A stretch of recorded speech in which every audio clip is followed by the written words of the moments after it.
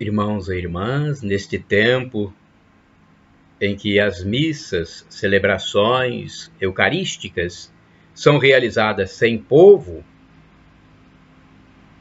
os católicos estão assistindo aos ritos religiosos pela internet, pela televisão, ouvindo pelo rádio, e com isso não recebem o Santíssimo Sacramento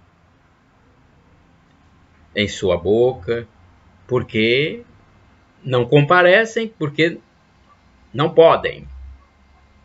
Neste caso, é possível fazer a comunhão espiritual no momento da liturgia eucarística, no momento em que há a distribuição da hóstia consagrada, você pode fazer a oração, a prece escrita por Santo Afonso Maria de Ligório.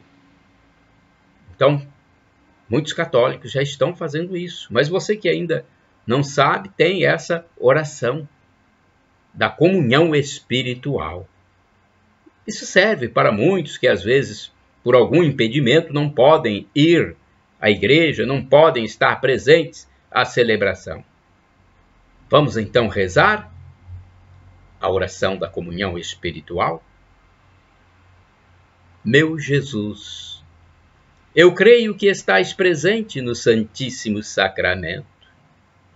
Amo-vos sobre todas as coisas e minha alma suspira por vós. Mas como não posso receber-vos agora no Santíssimo Sacramento, vinde ao menos espiritualmente, ao meu coração. Abraço-me convosco, como se já estivesseis comigo. Uno-me convosco inteiramente. Ah, não permitais que eu algum dia me separe de vós.